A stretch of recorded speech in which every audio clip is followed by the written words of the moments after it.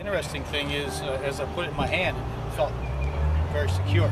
Uh, didn't need to feel I had to find a, a nice tight grip because I don't need a, you know, need a tight grip. It just was comfortable in your hands, and the follow through felt very good. Sometimes you got, I feel like you got to force the finish, Right. you know what I mean, or just go through more. That I didn't have to. Well, I actually was able to relax.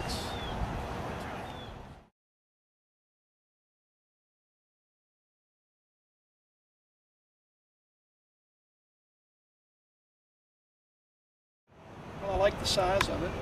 It sort of fits where you can put your palms kind of opposite like you're supposed to. It's like the way it feels in my palms, and I certainly feel like I could get a good pendulum swing. So I think it looks good.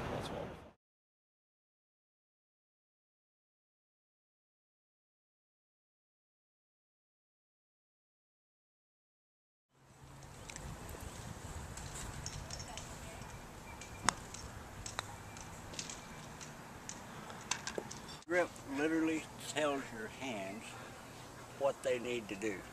They don't want to be moving around, the flatness, the curvature of the grip keeps them going straight back, straight through, and that's what, kind of what you want. It, it does give it the feel with this little weight it puts to it that it's sort of all one now.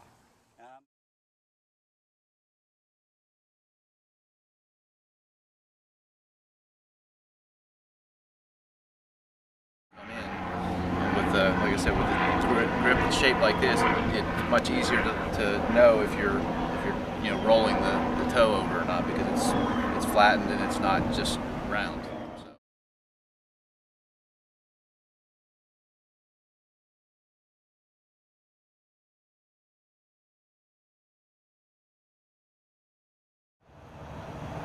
I like the feel of